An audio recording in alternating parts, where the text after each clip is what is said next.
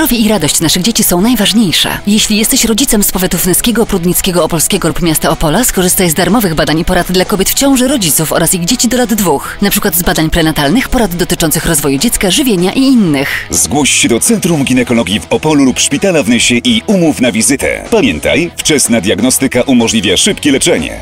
Bez skierowania i bez wskazań lekarskich. Zrobisz wszystko dla dziecka. My też. Więcej na www.ginekologiaopole.pl